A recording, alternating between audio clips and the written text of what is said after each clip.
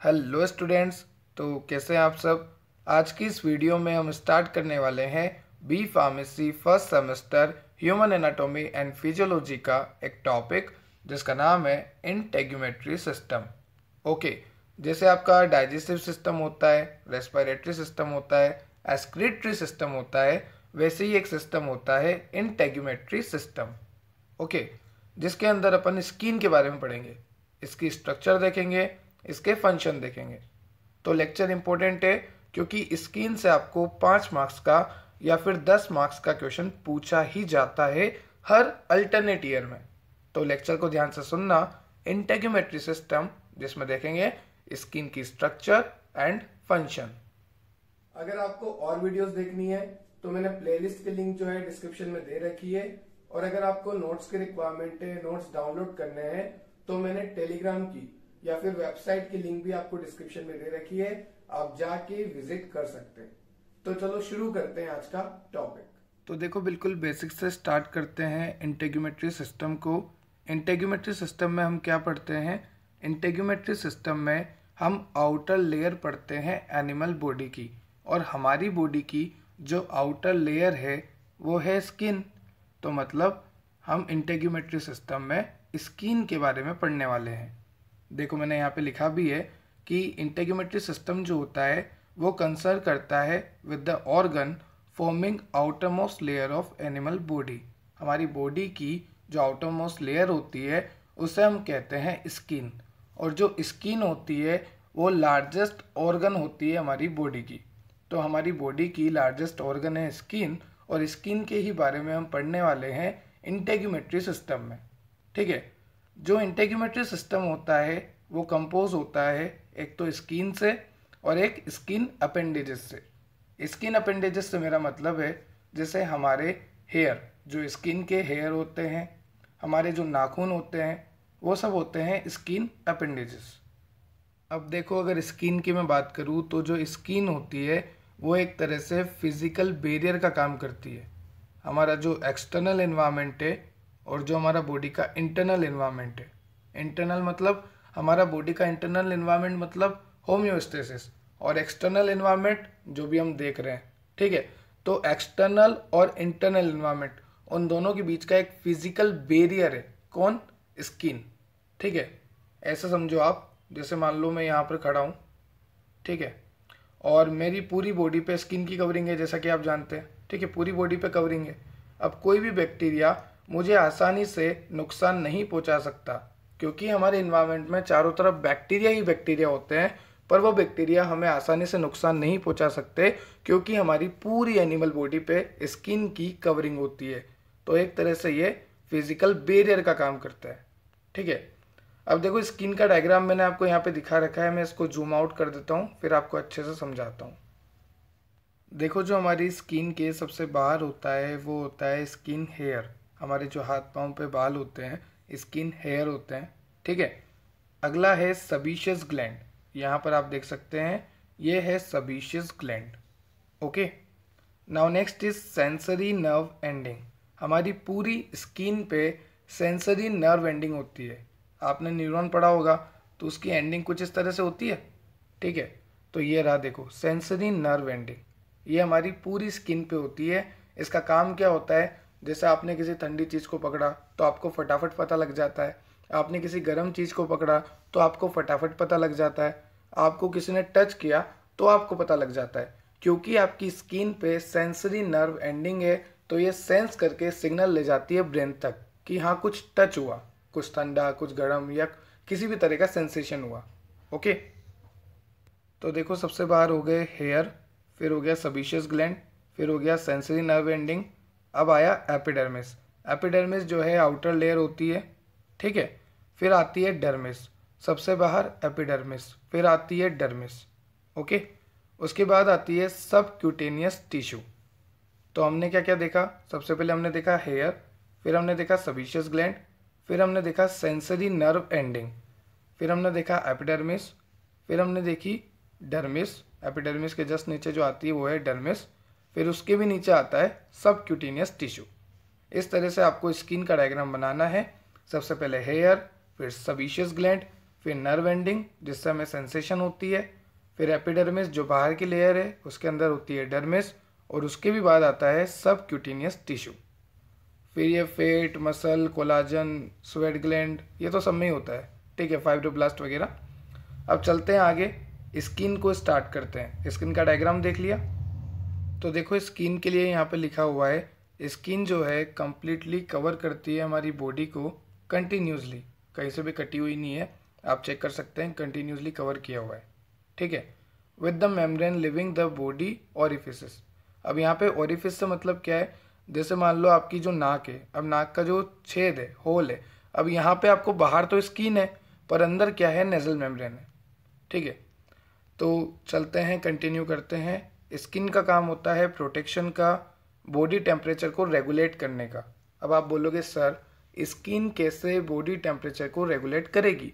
तो स्किन जो है, वो पसीना निकाल कर आपकी बॉडी को ठंडा करेगी। ठीक है? जैसे आप मान लो कहीं गर्मी में गए और बहुत ज़्यादा गर्मी है तो आपका टेम्परेचर तो फिर भी उतना ही रहता है ना, जो आपका बॉडी टेम्परेचर है। तो वो मेंटेन कैसे रहता है? हमारी बॉडी की जो स्किन है वो स्किन जो है पसीना निकालना शुरू कर देगी स्वेट निकालना शुरू कर देगी और जिससे हमारी बॉडी क्या हो जाएगी? कूल हो जाएगी। तो स्किन जो है टेम्परेचर को रेगुलेशन का काम भी करती है। साथ ही साथ जो स्किन है, वो है नर्व एंडिंग रखती है सेंसरी मैंने आपको बोला था ना टच वगैरह का, ठंडा गर्म पकड़ने का तो वही सब है। ठीक है? आगे चलते हैं। ये मैंने आपको पहले ही बता दिया कि स्किन जो है लार्जेस्ट ऑर्गन होती है, इसका सरफेस एरिया 1.5 से 2 मीटर स्क्वायर होता है एडल्ट्स में। स्किन की दो लेयर होती है, एपिडर्मिस और dermis. Okay? Beneath this we have subcutaneous and muscularis देखो टोटली तो चार लेयर है। एपिडर्मिस, डर्मिस सबक्यूटेनियस मस्कुलरिस पर मेनली हम दो ही स्टडी करेंगे, एपिडर्मिस एंड डर्मिस। ये सबक्यूटेनियस ये मस्कुलरिस हम नहीं पढ़ने वाले। एपिडर्मिस, डर्मिस को हम मेनली देखेंगे। अब देखो स्ट्रक्चर ऑफ़ स्किन में सबसे पहला है एपिडर्मिस एपिडर्मिस जो होती है मोस्ट सुपरफिशियल होती है, सबसे बाहर वाली लेयर होती है, ठीक है? अब बाहर वाली लेयर है तो प्रोटेक्शन का काम करना पड़ेगा। तो ये जो होती है स्टेटिफाइड कैरेटिनाइज स्क्वामस एपिथेलियम से मिलकर बनी होती है। ये एक डेड एपिथेलियम होता है, ठीक है? तो मोस्ट सुपरफिशियल लेयर जो होती है स्किन की, वो होती है एपिडर्मिस नाम से पता लग रहा एपी मतलब ऊपर वाली। ओके तो epidermis is the most superficial layer of the skin it is composed of stratified keratinized squamous epithelium okay now next हम चलते हैं वेरीज इन थिकनेस जो एपिडर्मिस होती है, वो वेरी करती है थिकनेस में. मतलब कहीं तो एपिडर्मिस पतली होती है और कहीं एपिडर्मिस जो है थिक होती है, मोटी होती है. पाम में और सोल में एपिडर्मिस जो है थिक होती है. साथ ही साथ मैं बात करूँ एपिडर्मिस में कोई ब्लड वेसल नहीं मिलती और ना ही नर्व एंडिंग मिलती है।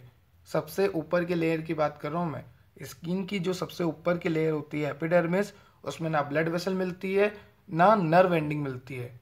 पर अगर मैं बात करूँ अंदर की, जब मैं अंदर जाऊँगा डीपर जाऊँगा बट डीपर लेयर आर बात है दिन इंसस्टिशियल फ्लूड फ्रॉम डर्मिस यहाँ पे इस लाइन का मतलब क्या है कि जो डीपर लेयर होती है, उसमें इंटस्टिशियल फ्लूड मिलता है। ठीक है? और वो इंटस्टिशियल फ्लूड का क्या काम होता है? वो ऑक्सीजन प्रोवाइड करता है न्यूट्रिएंट प्रोवाइड करता है। देखो यहाँ पे लिखा है but deeper layer are bathed in interstitial fluid from dermis वो क्या प्रोवाइड करता है? ऑक्सीजन प्रोवाइड करता है। कहीं भी अगर आपको पूछे कि ब्लड क्या प्रोवाइड करता है तो ब्लड का काम होता है ऑक्सीजन और न्यूट्रिशन का प्रोवाइड करना। ओके ऑक्सीजन और न्यूट्रिएंट्स को प्रोवाइड करना। ड्रेन अवे एज लिम्फ और जो लिम्फ होती है वहाँ से ड्रेन अवे मतलब जो फालतू का मटेरियल होता है उनका, वो लेके चली जाती है। तो लिम्फ का काम होता है वेस्ट मटेरियल को ले जाना और इंटस्टिशियल फ्लूड का काम होता है ऑक्सीजन और न्यूट्रिशन का प्रोवाइड करवाना। ठीक है? अब आगे देखो जो हमारी एपिडर्मिस थी। ये जो हमारी एपिडर्मिस है, जो कि आउटर लेयर है स्किन की, जिसके बारे में अभी हमने पढ़ा तो ये एपिडर्मिस में भी दो लेयर और देखने को मिलेगी। मतलब जैसे मान लो ये एपिडर्मिस है। ठीक है? ये इतनी बड़ी एपिडर्मिस है। तो अब एपिडर्मिस के अंदर एक तो होती है अंदर ही अंदर वाली लेयर और एक होती है ये लेयर मतलब एक तो बाहर बाहर वाली है, एक अंदर ही अंदर वाली। ठीक है? तो यहाँ पर नाम लिखे हुए हैं। एक है डीपेस्ट जर्मिनेटिव एक है सुपरफिशियल स्टेटम कॉर्नियम ध्यान से सुनना कंफ्यूज नहीं होना है। जो हमारी स्किन थी स्किन की सबसे बाहर लेयर थी एपिडर्मिस ठीक है? अब एपिडर्मिस को हमने पढ़ा। ठीक है? अब एपिडर्मिस को जब मैंने और अच्छे से देखा जूम करके देखा तो मुझे पता लगा कि एक तो अंदर ही अंदर लेयर मिल रही है और एक बाहर ही बाहर लेयर मिल रही है। मान लो ये एपिडर्मिस है, ठीक है? तो एक तो ऊपर की लेयर है एपिडर्मिस में भी और एक नीचे की लेयर है एपिडर्मिस में भी, ठीक है? तो ये दोनों लेयर का नाम लिखा हुआ है डीपेस्ट जर्मिनेटिव और सुपरफिशियल स्ट्रेटम कोर्नियम नाम से पता लग रहा सुपरफिशियल मतलब ऊपर ही ऊपर तो स्ट्रेटम कोर्नियम है और अंदर है जर्मिनेटिव ठीक है? अब ध्यान से सुनते जाओ। तो ठीक है सर, ये बात तो क्लियर हो गई कि जो एपिडर्मिस है, उसकी भी दो लेयर है। मतलब लेयर तो बहुत सारी है, पर अंदर ही अंदर की तो डिपेस जर्मिनेटिव है और बाहर ही बाहर की सुपरफिशियल स्टेटम कोर्नियम है। ठीक है? तो जैसे मान लो, अंदर की मैं बात करूँ डीपेस्ट जर्मिनेटिव ठीक है? तो ये अंदर की लेयर हो गई हमारी एपिडर्मिस की। अब नाम क्या है डीपेस्ट तो पता लग गया अंदर की है। दूसरा नाम क्या है? जर्मिनेटिव डीपेस्ट जर्मिनेटिव मतलब यहाँ पे कुछ ना कुछ जर्मिनेट होगा। ठीक है? तो जो हमारी एपिडर्मिस होती है, यहाँ पे देखो एपिडर्मिस जो सेल होती है, वो ओरिजिनेट ही कहाँ से होती है? हमारी जर्मिनेटिव लेयर से होती है। ठीक है? एक बार और ध्यान से सुनो। ये है एपिडर्मिस बाहरी बाहर वाली लेयर कौन सी हो गई? सुपरफिशियल स्ट्रेटम कोर्नियम अंदर वाली लेयर कौन सी होगी डीपेस्ट जर्मिनेटिव और जो ये डीपेस्ट जर्मिनेटिव लेयर है ये क्या बनाती है? ये एपिडर्मिस सेल बनाती है। ठीक है? ठीक है सर, ये है डीपेस्ट जर्मिनेटिव और ये बनाती है एपिडर्मल सेल ठीक है? अब इस एपिडर्मल सेल को हम क्या करेंगे? कैरेटिनाइज्ड वाला बनाएँगे, क्योंकि ये ऊपर जाना चाहेगी यहाँ पर। देखो, जो पुरानी सेल है वो नीचे आ जाएगी और जो नई सेल है वो बन बन के ऊपर जाती जाएगी। ठीक है? तो ध्यान से एक बार और सुन लेना। कि एपिडर्मिस में दो लेयर है, एक तो अंदर वाली डीपेस्ट और एक बाहर वाली सुपरफिशियल जो अंदर वाली है जर्मिनेटिव लेयर वो क्या बनाती है? एपिडर्मिस सेल बनाती है. Undergo gradual changes as they progress toward skin surface तो देखो, ध्यान से सुनो, जो डीपेस्ट जर्मिनेटिव है, वो नई सेल बनाती है, जिसका नाम है एपिडर्मिस सेल और वो सेल जो है, ऊपर की लेयर पे जाती है एपिडर्मिस की. ठीक है? आई होप आपको क्लियर हो गया होगा, मैंने चार बार रिपीट कर दिया. ठीक? तो जब वो ऊपर जाती है, जैसे मान लो ये नई एपिडर्मिस सेल बनी, जिसको बनाया जर्मेटिव ने जर्मिनेटिव ने बनाया, अब इसको ऊपर जाना है। तो ऊपर जाने के लिए क्या करना पड़ेगा? इसको अपना साइटोप्लाज्म जो है रिप्लेस करना पड़ेगा फाइब्रस प्रोटीन कैरेटीन से, ठीक है? जो कैरेटीन प्रोटीन है, यहाँ पे इस सेल में आएगा। क्यों? क्योंकि हमने बोला था, जो एपिडर्मिस की आउटर लेयर है, उसको हार्ड होना पड़ेगा स्ट्रोंग होना पड़ेगा कि उसकी, उसे बाहर रहना है, ठीक है? इन्वायरमेंट के कॉन्टेक्ट में रहना है। तो हम इससे क्या करेंगे? जो नई नई एपिडर्मिस सेल बनी है, जो कि इनर लेयर से बनी थी। देखो, इस लेयर से बनी थी डिपेस जर्मिनेटिव से।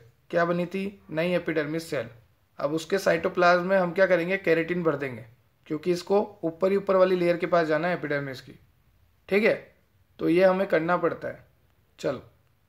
नेक्स्ट है कि कंप्लीट रिप्लेसमेंट भी होता है। जैसे हमारी ऊपर की सेल खराब हो गई तो नीचे की सेल नई बन के ऊपर आएगी तो वो एक महीने में होता रहता है। ठीक है? अब कोई हेल्दी एपिडर्मिस हो तो उसमें क्या क्या होना चाहिए? कि हाँ ये एपिडर्मिस की लेयर जो है हेल्दी है तो हम कैसे बता सकते हैं? तो देखो, सबसे पहले लिखा हुआ है डी स्क्वामेशन ठीक है? डी स्क्वामेशन में क्या होगा कि ऊपर की सेल जो है हटनी चाहिए, तभी नीचे जो नई सेल बनी, वो ऊपर जाएगी। ये प्रॉपर्टी सही से होनी चाहिए। ठीक है? दूसरा है इफ़ेक्टिव कैरेटिनाइजेशन कैरेटिन का डिपॉजिट होना ज़रूरी है। कैरेटिन होगा नई एपिडर्मल सेल में, तभी वो जो है अच्छी एपिडर्मिस कहलाएगी। तीसरा है continue cell division cell division तो ज़रूरी है ही सही। तो एक अच्छी हेल्थी एपिडर्मिस में ये तीनों प्रॉपर्टी होनी चाहिए। एक तो डिस्क्वामेशन एक इफ़ेक्टिव केरेटनाइजेशन और एक कंटिन्यू सेल डिवीज़न ठीक है? अब ये जो डर्मिल पेपिला है, ये एक्स्ट्रा पॉइंट है, आप चाहो तो पढ़ो, नहीं तो कोई दिक्कत नहीं है, ठीक है? ये ब्लिस्टर्स वगैरह, ये सब एक्स्ट्रा में लिखा हुआ है। आप चाहो तो पढ़ सकते हो, नहीं तो कोई दिक्कत नहीं है। चलो नाउ नेक्स्ट हम चलेंगे स्किन कलर कैसे अफेक्ट होता है, उसके बारे में देखेंगे। ये नोट्स तो आपको मिल जाएँगे हमारी वेबसाइट से या फिर टेलीग्राम से। नोट्स की क्वांटिटी और क्वालिटी मोर देन सफिशियंट है, ठीक है? तो मैं आपको वो वो बता रहा हूँ जो आपको एग्ज़ाम में लिखना है। अगर किसी को और जानना है तो यहाँ बीच में मैंने अच्छे अच्छे लाइन्स लिखी हुई है। आप देख सकते हैं। अब देखो जो स्किन कलर है, वो कैसे अफेक्ट होता है? मिलेनोसाइट से। जितनी ज़्यादा मिलेनोसाइट सेल उतना ज़्यादा मिलेनिन का प्रोडक्शन ठीक है? मिलेनिन क्या है? एक पिगमेंट है। और ये मिलेनिन पिगमेंट जो है रेस्पॉन्सिबल होता है डार्क स्किन कलर के लिए। हमारी स्किन का कलर अगर डार्क है मतलब हम में मिलेनिन बहुत ज़्यादा है। ठीक है? और अच्छी बात है डार्क कलर होना चाहिए ताकि आप स्किन कैंसर से बच जाओ। जिसका कलर जो होता है ना स्किन कलर अगर वो डार्क है ना तो उसको स्किन कैंसर के चांसेस बहुत कम होते हैं। ठीक है? तो देखो, हमने बात करी थी डीप जर्मिनेटिव लेयर की। एपिडर्मिस में जो डीप जर्मिनेटिव लेयर होती है, उसी में मिलेनोसाइट सेल होती है। और यही मिलेनोसाइट सेल जो है मिलेनिन पिगमेंट के प्रोडक्शन के लिए रिस्पॉन्सिबल होती है। ठीक है? जितना ज़्यादा मिलेनिन उतना ज़्यादा स्किन का डार्क कलर नाउ सेकंड यहाँ पे पॉइंट्स लिखे हुए मैंने कि amount is genetically determined and varies in different part different part मतलब हर स्किन के अलग अलग जगह अलग अलग डार्क रीजन होता है, ठीक है? तो जहाँ ज़्यादा डार्क है मतलब वहाँ पे मिलेनिन का प्रोडक्शन उतना ही ज़्यादा है. Number of melanocyte is fairly constant लगभग हर इंसान में जो मिलेनोसाइट सेल का नंबर होता है वो कॉन्स्टेंट होता है।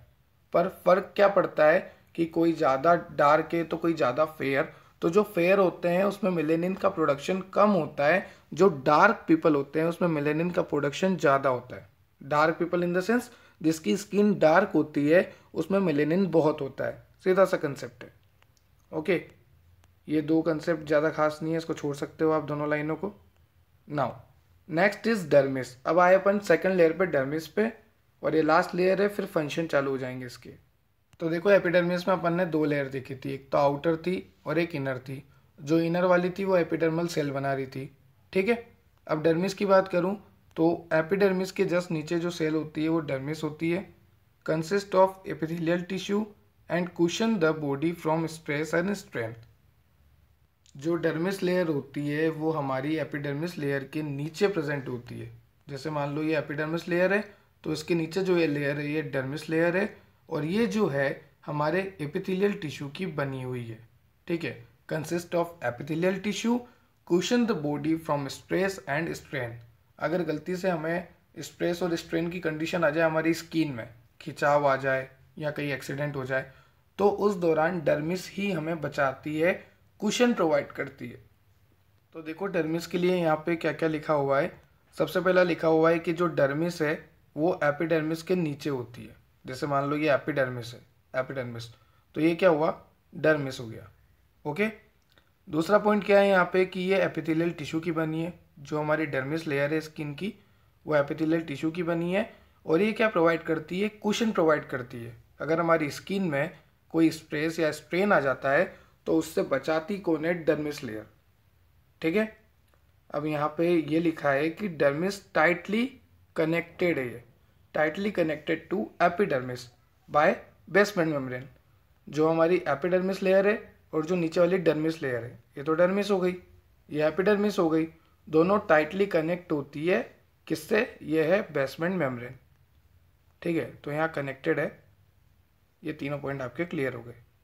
अब देखो, जैसे एपिडर्मिस में दो लेयर थी, वैसे ही डर्मिस में भी लेयर होती है। एक होती है पेपिलरी एक होती है रेटिकुलर बस आपको इतना याद रखना है, इससे ज़्यादा आपको इसकी डिटेल में नहीं जाना। जिसे जाना है, वो रीड आउट कर सकता है। मैंने नोट्स जो हैं सफिशेंट प्रोवाइड कर रखे हैं।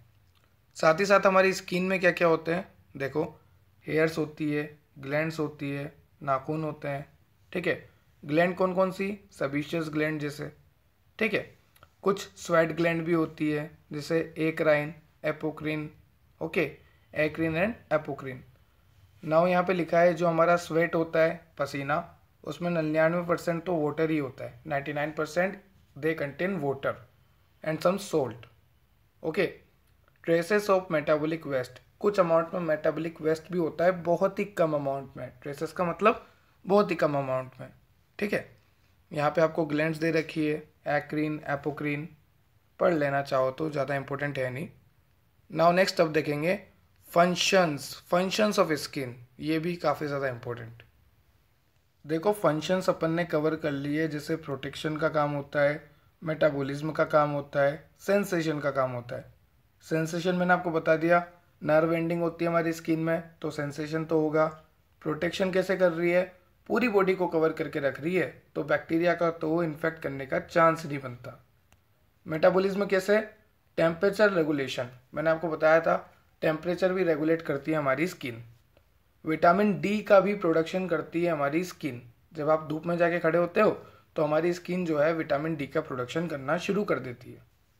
एस्क्रीशन भी करती है हमारी स्किन। पीएच को भी रेगुलेट करती है हमारी स्किन। तो देखो कैसे याद रखोगे। Secretion, excretion. सिमिलर है, सिक्रीशन, एस्क्रीशन। Storage, absorption. कोई भी चीज़ को एब्जॉर्ब करोगे तो उसका स्टोरेज होगा। ठीक है? तो ऐसे याद रखो secretion excretion storage absorption vitamin D production temperature regulation regulation of pH दो तो रेगुलेशन एक तो टेम्परेचर एक पीएच बाकी सिक्रीशन एस्क्रीशन स्टोरेज एब्जॉर्प्शन और विटामिन डी तो हम बोलते हैं कि धूप में जाने से हमारी स्किन जो है विटामिन डी बनाती है। तो देखो, वही सब लिखा है अब प्रोटेक्शन में सेंसेशन में, ठीक है हीट रेगुलेशन में एस्क्रीशन में, और विटामिन डी कैसे बनता है? जो हमारी बॉडी में स्किन में सेवन डी हाइड्रो कोलेस्ट्रॉल रहता है तो जब भी यूवी लाइट हमारी स्किन पे गिरती है तो वो सेवन डी हाइड्रो कोलेस्ट्रॉल जो हमारी स्किन में है, वो कन्वर्ट हो जाता है विटामिन डी में। ठीक है? एब्जॉर्प्शन भी होता है स्टोरेज भी होता है पीएच भी रेगुलेट होती है। हमारी पीएच जो होती है स्किन की, वो होती है 4.5 से 5.5 मतलब स्लाइटली एसिडिक ओके तो ये था आज का आपका लेक्चर स्किन का। आई होप आपको क्लियर हुआ होगा। दो लेयर अपन ने पढ़ी एपिडर्मिस डर्मिस ठीक है? उसके बाद अपन ने देखा function of skin I hope आपको लेक्चर क्लियर हुआ होगा स्किन का डायग्राम क्लियर हुआ होगा। अगर आपको किसी और टॉपिक से रिलेटेड डाउट है तो आप कमेंट सेक्शन में कमेंट कर सकते हैं। अगर आपका कोई कज़न या भाई बंधु क्लास टेंथ या फिर एलेवेंथ ट्वेल्थ में नीट की प्रिपरेशन कर रहा है तो मैंने यहाँ पर इसी चैनल पे क्लास टेंथ की साइंस और इलेवेंथ ट्वेल्थ की नीट की प्रिपरेशन करवा रखी है। Important question quick revision series सब कुछ मिलेगा इसी चैनल्स की प्लेलिस्ट में। तो ज़रूर उन्हें सजेस्ट करें। Have a nice day thank you